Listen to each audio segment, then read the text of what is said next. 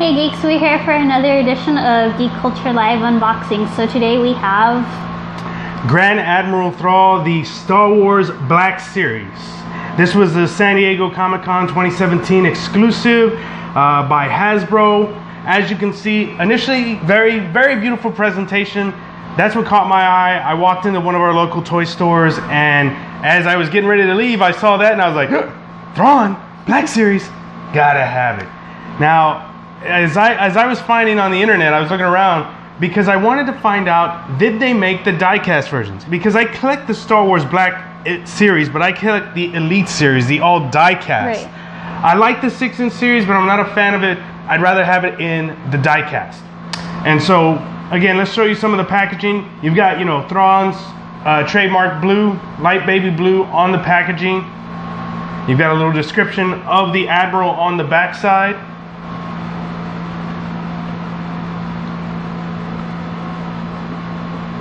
And then again, again, Disney did a great presentation with this. I mean, the, the box sold me. Not that I really wanted to jump to spend a hundred bucks, but it was Grand Admiral Thrawn. Now, when you get it out of there, it looks like you have a Star Destroyer of sorts on the back of the box, and it's got some really neat graphics.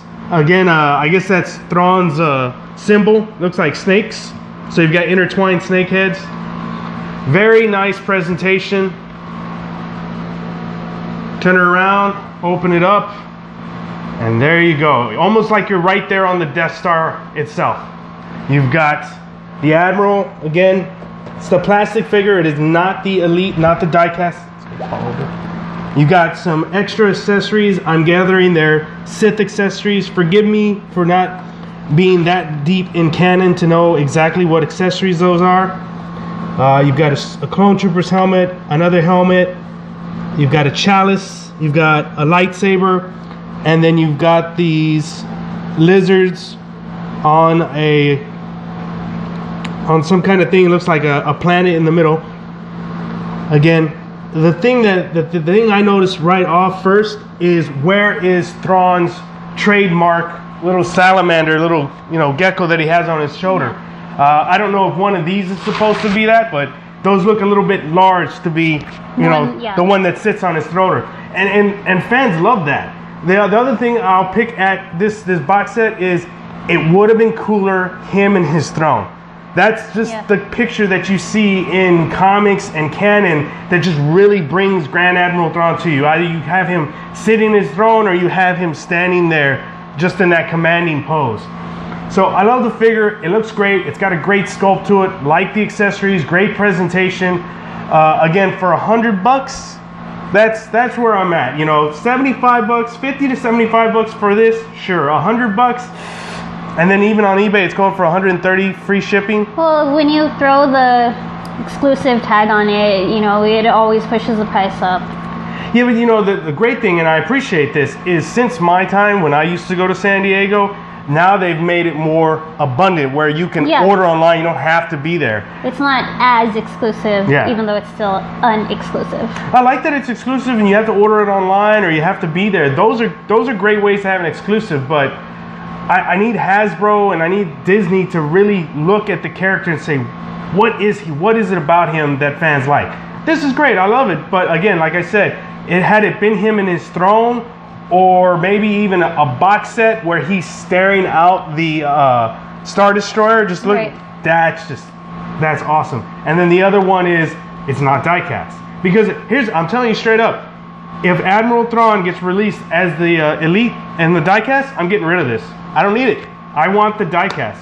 That's that's what I've been doing with all my Star Wars Black series. Is all the plastic ones out? I'm, I just want the diecast. Even if it's just the figure, not the whole box set. Oh yeah, yeah. Most of the figures. The only ones that I'm keeping is the ones that they haven't done again in diecast. See, I'm just trying to narrow down my collection. There's no point in having six inch in plastic and six inch in diecast. It's just there's no point to it. So, for Star Wars fans out there, if you guys have been looking for a Thrawn figure, they're very few and far between.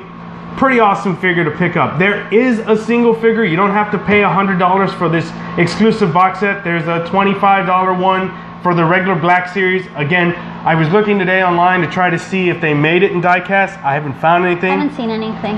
So I'll be keeping my eye out for that. But there is a regular Star Wars Black Series figure, 25 bucks. You can add them to your collection. You won't miss out. Very nice set. If you want to pay the 100, 130 dollars for it, by all means.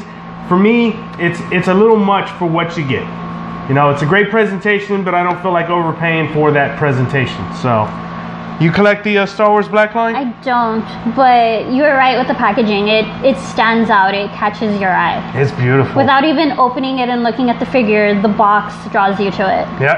I mean, you've got him right there on the front, and then I- it's it's brilliant how they made the uh, what would you call this little plastic thing? And it's blue, so then it puts him in the blue color. That that's Yeah. just brilliant marketing right there. So hands off to Hasbro and Disney. You guys did a great job. Uh, I'd look again at the prices. I mean, I'm sure you guys sold a ton of them, so you're happy and you don't care. But you know, we look out for our collectors. We want things reasonably priced, not overpriced. So $75 is what I would pay for this. Uh, great addition to my Star Wars Black collection. You guys can find it out there in the store. Strongly recommend picking it up. So for another edition of Geek Culture Unboxing, we'll see you geeks next time.